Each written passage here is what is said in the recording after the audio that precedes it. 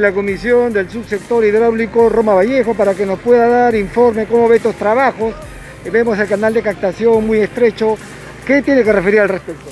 No, yo creo que al menos están trabajando, estoy viendo, verificando eh, los trabajos que están realizando y veo al menos este, algo preocupado, por eso es que voy a ver con el ingeniero residente ¿no? para ver cómo se va a terminar o se va a iniciar la obra en medio de la captación.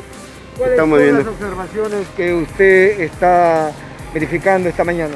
No, simplemente he venido a verificar que al menos están trabajando.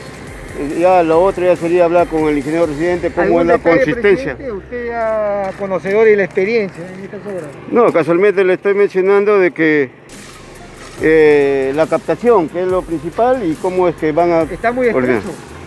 De hecho, eso ya se ha hecho la observación de vida. ¿Usted ha tenido acceso al expediente técnico? Sí, al menos sí me han alcanzado, por eso estoy siendo revisado por un ingeniero. Este sí, lo estoy siendo revisado por un ingeniero eh, competente para que él verifique, y hemos coordinado que va a venir.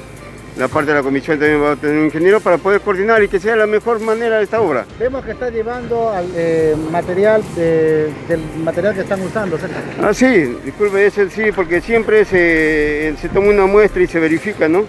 para ver qué condiciones está. Eso es lo que siempre se va a un laboratorio y se, verifica siempre eso, ¿no? 7.5, 7.5 millones en esa cantidad, entonces estamos viendo eso, ¿no?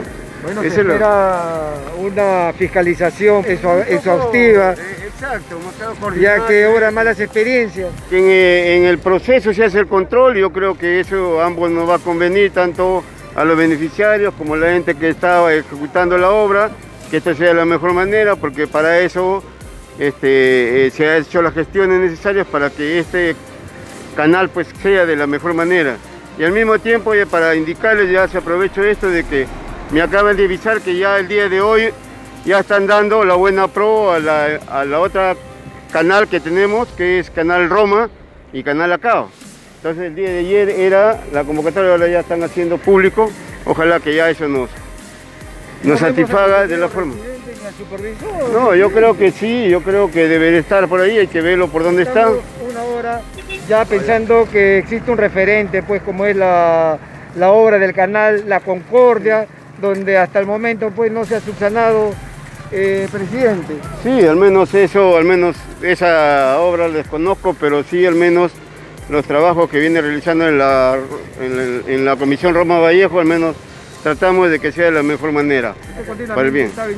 así es, así es, acá estamos continuamente coordinando y viendo las pequeñas observaciones que pueden haber para que se pueda solucionar en el proceso, porque nada sirve al final quejarse si no vamos a ver desde el inicio, y esa es mi preocupación, ¿no? Esa es mi preocupación. las valorizaciones, pues, tienen que cumplirse de acuerdo al avance y también a las observaciones que puedan haber. Así es, yo creo que esa es la, mejor manera, como apoyarnos, tratando de coordinar y que esto salga de la mejor manera.